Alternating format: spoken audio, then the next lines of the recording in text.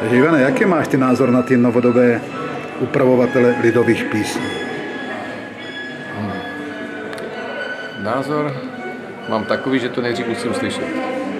Je těžké něco odsoudit dopředu. Prostě člověk, který se lidovou písní nebo aspoň těmi tématy zabývá a má nějaké nutkání nebo puzení něco vytvořit, tak samozřejmě proč ne, ale jestli to je něco, co by mě bavilo, mě osobně teda samozřejmě, nebo pro co bych zvednul teda ten palec, tak eh, to opravdu musím slyšet.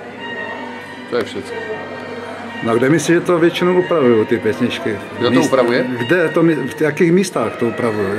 To si myslíš, který místa? Kde je nedostatek lidových písní, tradičních? Nebo? Tak každý má pocit, eh, že to musí upravit podle sebe.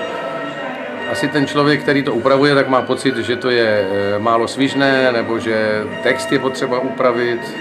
Já si myslím, že ono to v historii samozřejmě eh, bylo také tak, že si upravovali lidé písničky podle nálady, podle toho, v jaké byly situace, nebo se jim zdálo, že jsou nové trendy, tak se samozřejmě i ta lidová píseň měnila. No a dneska je to hrozně těžké, protože zpívá se o koníčkách a o vodičce a tak dále a upřímně řečeno, jako kde kdo s tímto žije v souladu nebo když to někdo opěvuje a vlastně se ani do těch míst nedostane, tak je takové zvláštní. No, tak samozřejmě si to musí opravit trošku jinak.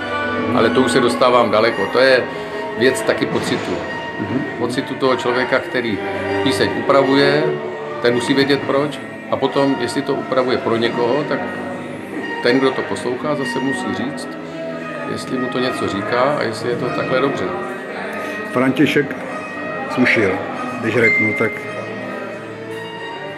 velký to sběratel, že? Také používáš jeho pěsničky? Také Já, zpíváš? no, musím říct, že dřív, ano, od té doby, co jsem se dostal na Horňácko, což už je přes 30 let, tak už do toho sušila tolik člověk nemusí sahat, protože tam to má z první ruky takzvaně a v podstatě originálně zahrané a procítěné. Eh, je to ohromná sbírka, ale je to taková sbírka, která bude mluvit i za tisíc let, ale jde o to, jestli si za tisíc let bude někdo schopen představit, z čeho to vycházelo, jak melodicky, tak hlavně tím příběhem.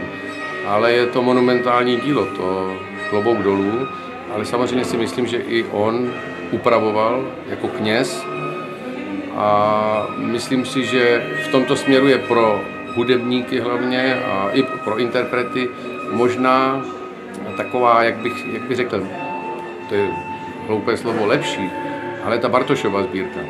Že Bartoš už přeci jen nechával i ty texty, i ty zápisy syrové a, a tak, jak je opravdu našel. Ale Sušilová sbírka je monumentální, to klobouk dolů. Děkuju. Prosím. No, víš,